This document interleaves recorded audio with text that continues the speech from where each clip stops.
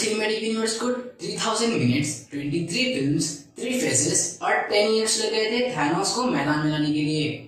और Marvel cinematic universe ने जी जान लगा दी थी सभी एवेंजर्स और थैनोस को उसकी फौज के साथ आमने सामने लाने के लिए।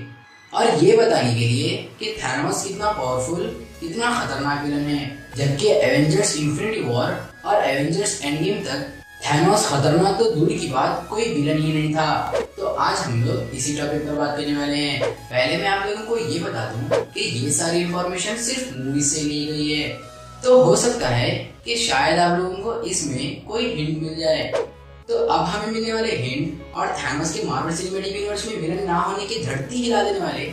एविडेंस का ध्यान रखते हुए start the video hello guys मैं हूँ जूनियर और आज मैं ये प्रूफ करने वाला हूँ कि थैनोस मार्वल सिनेमैटिक यूनिवर्स में विलन नहीं था।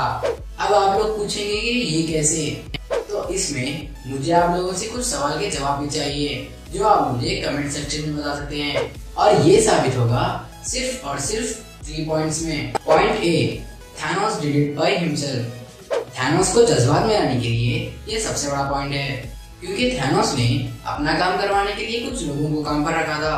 जैसा कि लोकी और रोनिन और थैनोस ने सिर्फ़ ये ऑफ़र रखा था कि उसे सिर्फ़ इम्यूनिटी स्टोन्स चाहिए, जिसके बदले वो उन्हें मुँह मांगी रकम दे सकता है।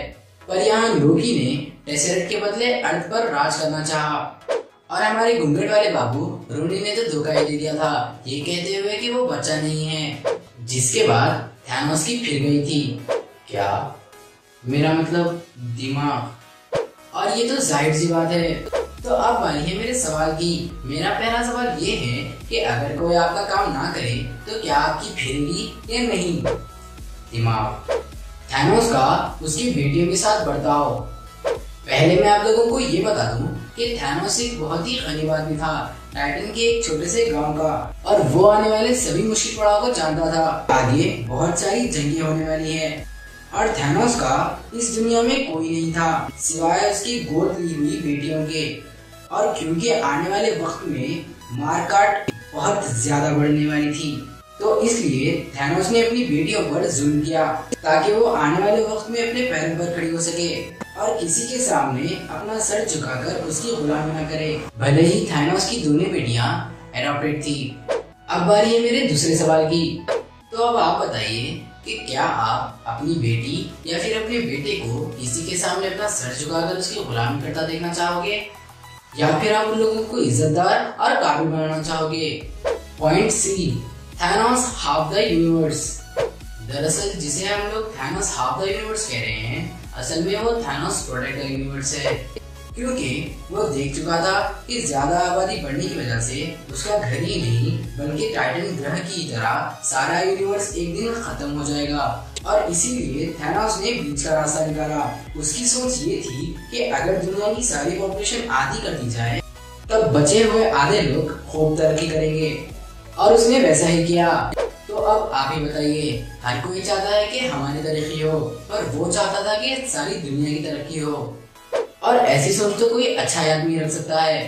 थैनोस की सोच तो सही थी, मगर उसका तरीका गलत था। बजाय इसके कि थैनोस उन इन्फिनिटी स्टोन से थोड़े और प्लैनेट बना सकता था। और अगर थैनोस ऐसा करता, तब थैनोस मार्वल सिनेमैटिक यूनिवर्स का सबसे बेस्ट हीरो था थैनोस का तरीका ऑब्वियसली गलत ही हो, पर आप लोग मुझे ये बताइए कि क्या थैनोस की सोच गलत थी? और इन सब के बाद, जब थैनोस ने फ्यूचर में इतना अच्छा काम करने के बाद अपना सर धड़ से अलग होते हुए देखा, तब थैनोस का गलत तरीका बुरी सोच में बदल गया।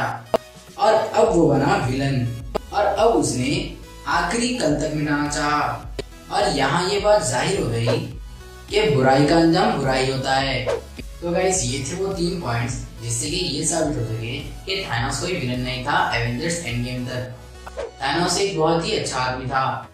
जिसने आने वाली न्यू जनरेशन के लिए अपनी सबसे कीमती चीज़ अपनी गोद ली हुई बेटी को भी कुर्बान कर दिया। जबकि हम लोग ठंडी हवा खाने के लिए कई सारा पोल्यूशन फैलाते हैं। फिर भी एक ट्री भी प्लांट नहीं करते। यहाँ तक कि हमने अपनी जरूरियात के लिए नेचुरल रिसोर्सेज को भी खराब कर दिया। इसका नुकसान बेशक हम ही को होना है।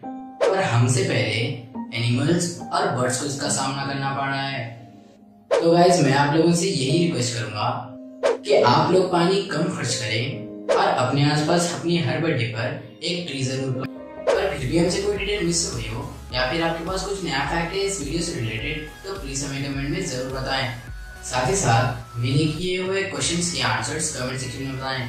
और अगर आपको ये वीडियो पसंद आई तो इस वीडियो को लाइक करने के बजाय एक ट्री प्लांट कर दीजिए और इसको शेयर ज़रूर कीजिएगा। क्योंकि अगर आपके इस वीडियो को शेयर करने से कोई बंदा एक ट्री प्लांट करता है तो इसमें पूरी दुनिया का फ़ायदा होगा और ऐसे कई सारे सुपर के लिए हमारे चैनल को सब्सक्राइब करना ना भूलें